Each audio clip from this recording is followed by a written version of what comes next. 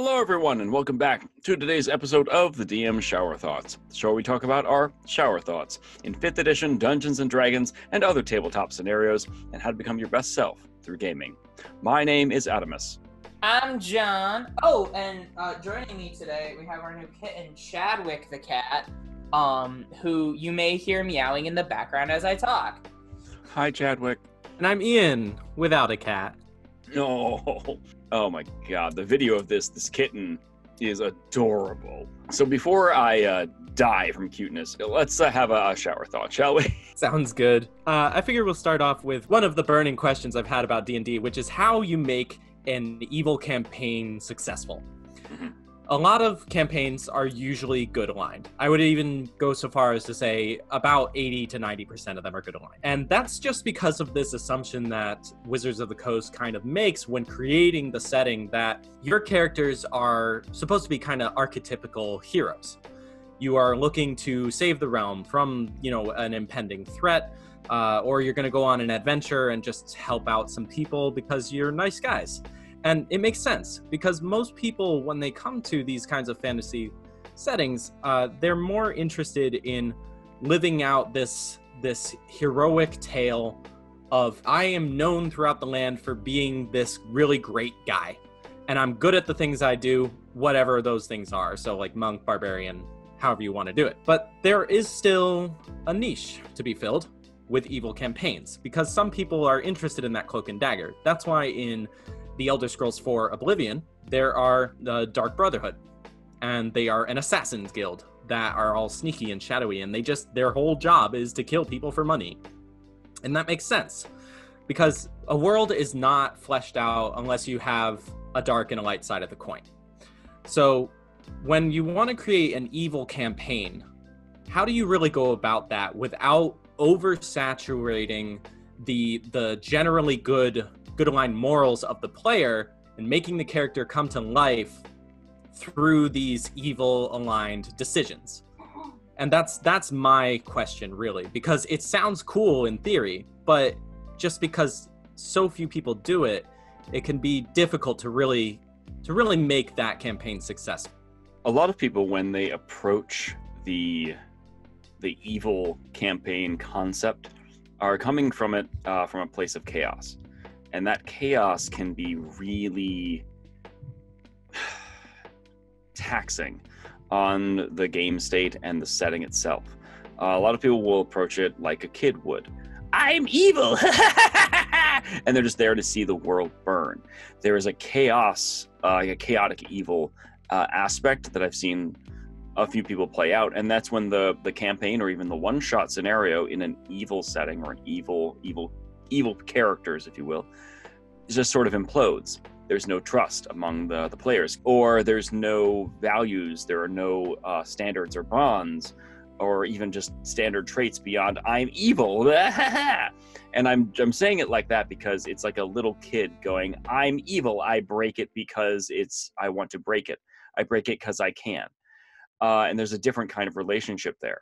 Whereas if we really delve deep into the nuance of what makes a character evil, it's more about the gradient between their decisions and what they're willing to do. Whereas I think a good aligned character has a lot has like a line they don't cross, and maybe an evil character crosses that line, or their their relationship with their choices has a deeper meaning and nuance to what they do and how they do it and why they do it like the ends justify the means. Maybe they are actually making a good choice or a good point to hit.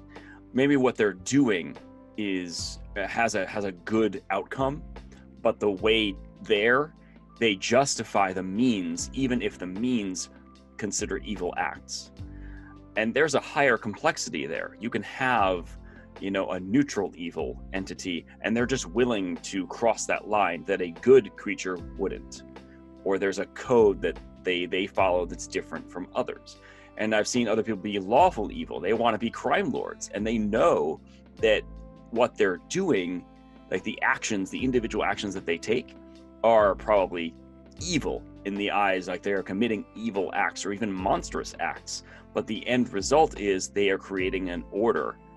There are too many crime bosses. There's too much chaos people. There's too much going on. I make the world a more orderly place by becoming the one that rules them all and destroying the competition. So now it, the status quo is not quo, and I need to break it and rebuild it. And there, that was also very interesting when you think about are these evil characters instead the heroes of their own story given their new perspectives? That's how we can, at least from my point of view, you can deepen this this role playing understanding and deepen where their choices lie beyond the chaos. So, Ian mentioned something which is good to keep in mind, which is Wizards of the Coast assumes that your characters are going to be heroic. How that her- heroism manifests, of course, is going to be different to each individual player. Um, and the, there's room to make other decisions, but ultimately, like, there is this kind of underlying assumption with a lot of D&D stories that your characters are good. Whether whether they're the good alignment or they're neutral or whatever, they aren't going to help Tiamat destroy the realms, right? Or they're not going to uh to help, you know, the true enemy of Storm King's Thunder, or they're not going to help the Elemental Eye um, and the four evil elemental cults or anything like that in Princes of the Apocalypse. I would disagree that most players are excited by that, right? Most players when they they come to D&D are used to having a game experience be structured and limited, right? So even if they come from like a board game or a video game, even an open world video game, um like if we take Skyrim or Witcher as an example, when you talk to people, you still have limited dialogue options you can't just say anything and then have the story respond in real time in the way that you can in a tabletop scenario. That sheer freedom is what excites players. The fact that they really could try anything. And, you know, there are some things that are destined not to work, but the fact that there's a die roll of, well, maybe this could work, that's what excites players. And what can happen, and we experience this introducing Dungeons and Dragons um, to our community, was some players would go out of their way to pick the chaotic option just to kind of see what would happen. And it wasn't necessarily evil, it was just chaotic, right? So it's how do we mess with the DM? How do we mess with the serious story? When it comes to, I think there's a difference between an evil campaign and evil characters. And I think having that distinction is a little bit more useful and a little bit more actionable as a tool. So for me, like you were saying, Adam, an evil character is someone who's willing to cross certain moral lines in order to complete an outcome, right? Sometimes that outcome is good, sometimes it's neutral, sometimes it's evil. So, like, if uh, the outcome is I want to get paid, somebody is willing to pay me a lot of money to kill another NPC, right? And it's more the Dark Brotherhood storyline. That is an evil act, and the outcome is also evil. There's a dead person, but the motive is neutral. The motive is get paid. And like we were talking about earlier today, getting paid is just what you do. Like, why do you work at Subway? To get paid. It's not an evil outcome, right? But, you know, there's a difference between making somebody a $5 footlong and killing them. So, like, you know, it's, it's, what can define an evil character are the methods they are willing to partake in in order to reach an outcome.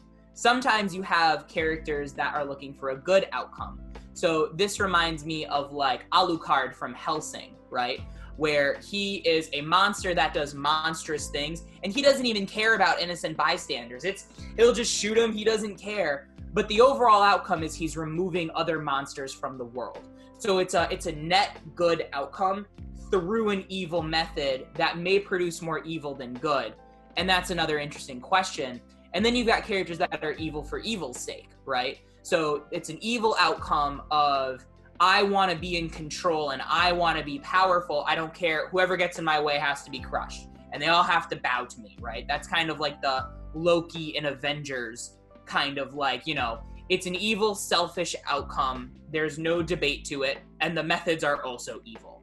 So I think the difference between evil characters and an evil campaign is that an evil campaign is an exploration of the evil decisions that you know you are going to make. Whereas a gray campaign, there's usually an evil, neutral, good option. You know, going into an evil campaign, that you're going to be doing up to evil stuff. So to me, I personally find the gray model kind of more interesting.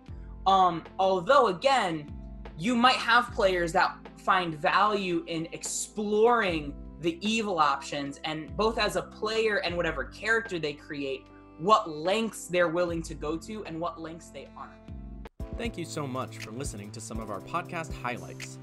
This podcast is part of the Darkmore Podcast Network. If you want to support the content creators, feel free to visit our Patreon. And please, game responsibly.